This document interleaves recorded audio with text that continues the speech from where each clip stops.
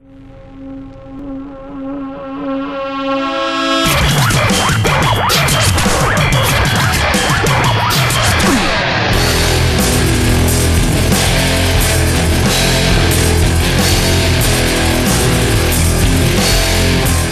guys, welcome back to the shop.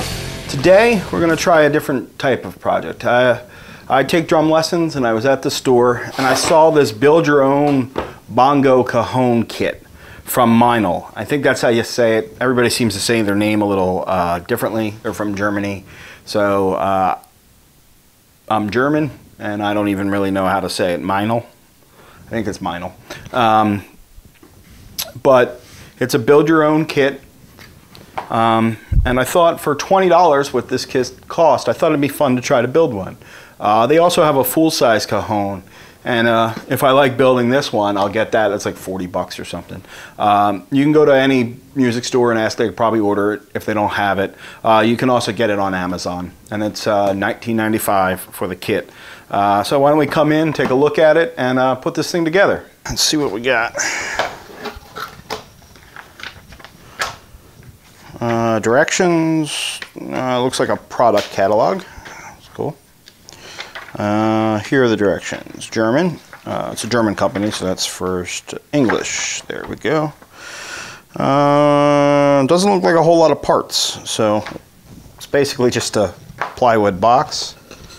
Um, this looks like the top. Yeah, it's the top. It's pretty thin, but it you probably would want it to be thin to, to vibrate. Sides. There's sides. There's also a middle. Um, right here. And it's to get two different tones, probably. Um, yeah. So, dadoes are already cut in it. There's the other side. So, looks pretty good. I think uh, basically all we need to do is uh, grab some glue and put it together. It looks like we'll need four clamps, mm, maybe six. You might want to put one in the middle, but we'll see. Um, and then it looks like they band strapped it together. So, okay, I'm going to go ahead and dry fit this together. Uh, they put up arrows because there's bevels here.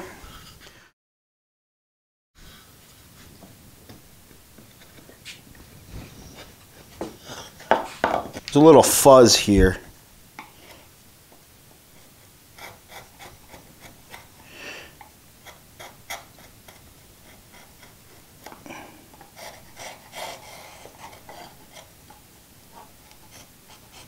It's not too hard for me to clean up. But if you were building this and didn't really have a wood shop, you need to get something, a screwdriver or something could knock the fuzz out.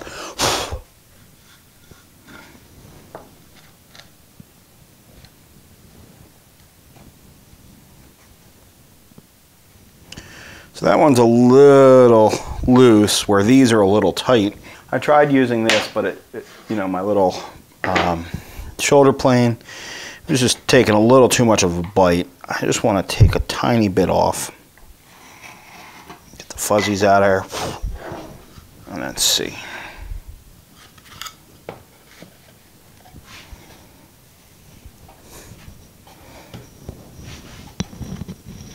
There we go. Tight there.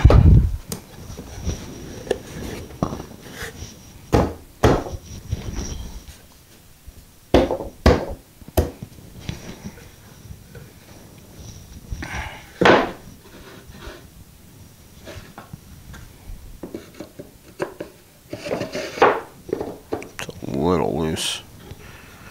I'll probably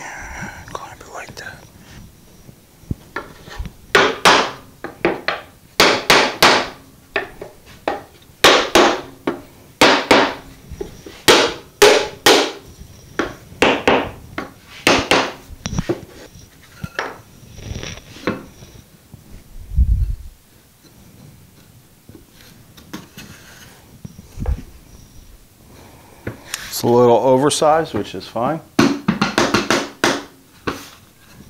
Let's go ahead, pull it apart, and then we'll glue it up. Okay, I'm just going to go ahead and use regular Elmer's white glue. Couple reasons.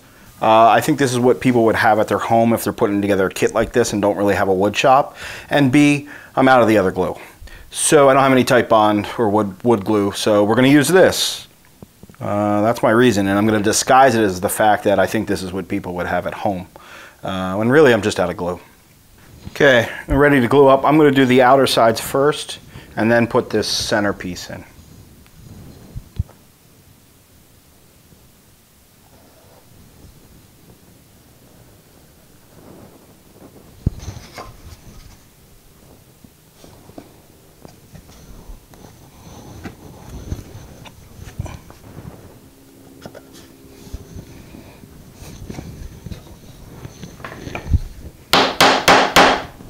I'm just going to go ahead and add the glue to the top piece and go ahead and put it on.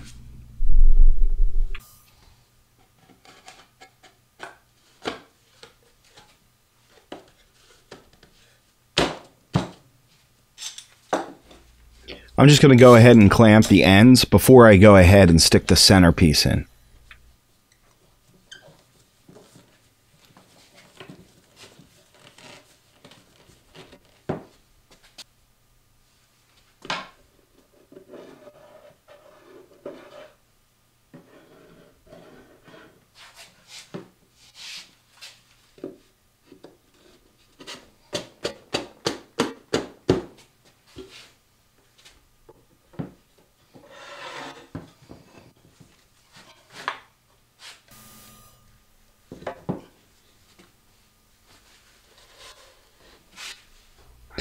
The glue has had a chance to dry, so I went ahead and removed the clamps. I'm going ahead and sanding the top. This way the plywood will sit evenly and bond really strongly to the top. Add some glue.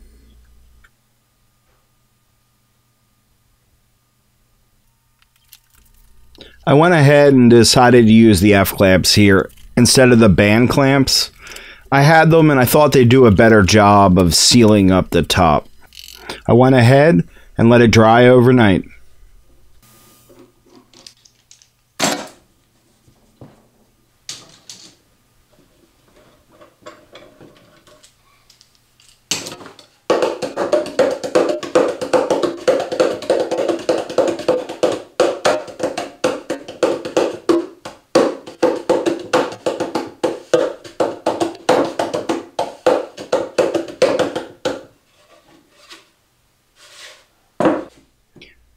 The top is oversized, so I decided to go ahead and trim it down using a block plane. I could have used a router, but I thought this was simpler, less mess, less setup. So I used a block plane to get it close, and then I sanded it smooth.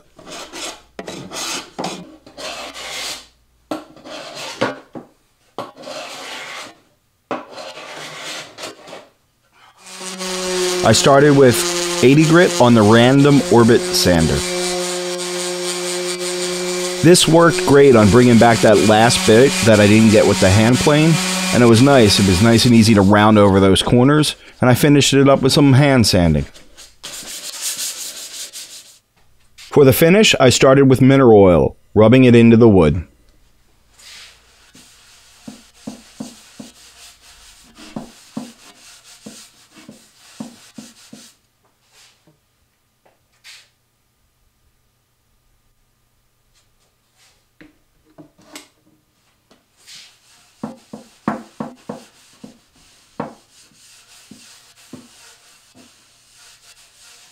I went ahead and wiped off the excess oil, did all the sides, as well as put a coat on the inside.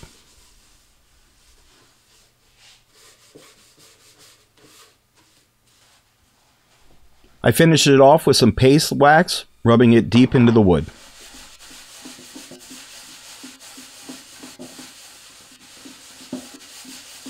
Here it is, pretty good project. You could finish it in a day, be something good to do with kids.